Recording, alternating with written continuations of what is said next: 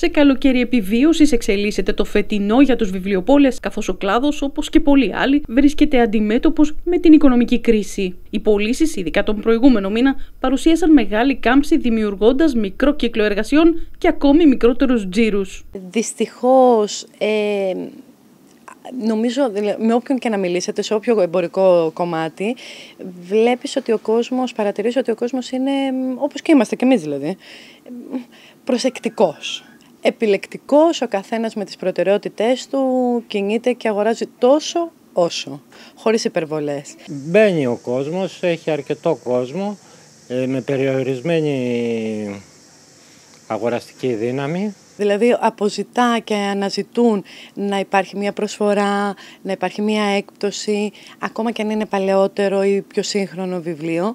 Υπάρχουν δύο κινήσεις. Εμείς κλασικά κάνουμε τις δικές μας ε, εκπτώσεις και προσφορές.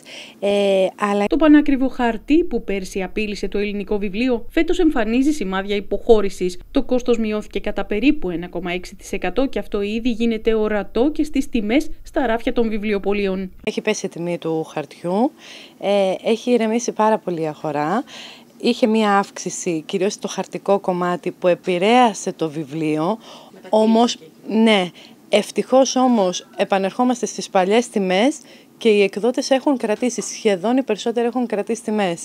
Ε, έχουν αυξηθεί ίσως σε αυτά τα βιβλία τα οποία είναι τα χρωματιστά, τα πολύχρωμα που έρχονται από το εξωτερικό και είναι και τα μεταφορικά και έχει αυξηθεί όλος ο κύκλος, ο εμπορικός. Όχι, είναι από άποψη βιβλίου και τα τετράδια. Κατώτερη των προσδοκιών και η κινητικότητα από τους τουρίστες, λιγοστοί από τους οποίους φέτος πέρασαν το κατόφλι των βιβλιοπολίων. Ε, φέτος ε, ε, έχει λιγότερη κίνηση από πέρσι. Περιμέναμε, είχαμε νομίζω προσδοκίες περισσότερες από τον τουρισμό, τον οποίο φέτος ε, βλέπω ότι στην Καλαμάτα δεν ξέρω, δεν μας προτιμάνε, δεν ψωνίζουνε. Ε, και επαναλαμβάνω ότι δεν είναι μόνο στο κομμάτι του βιβλίου. Είναι σε όλα τα κομμάτια. Εμείς ακόμα χειρότερα γιατί είμαστε έντος πολυτελείας στην Ελλάδα. Αλλά υπάρχει πρόβλημα. Σε μια περίοδο που τα βιβλιοπολία δέχονται το πλήγμα της οικονομικής κρίσης και της αδυναμίας των καταναλωτών να περάσουν το κατόφλι τους, μικρή ανάσα έρχεται μέσω των προγραμμάτων χορήγησης δωρεάν βιβλίων από την Δημόσια Υπηρεσία Απασχόλησης και τον ΟΠΕΚΑ. Συμμετέχουν σε αυτά τα προγράμματα ε, κάθε χρόνο έχουν, πώς να σου πω, έρχονται με τη λίστα τους, έχουν ψάξει, περιμένουν να βγει το κουπόνι και έρχονται να τα πάρουν.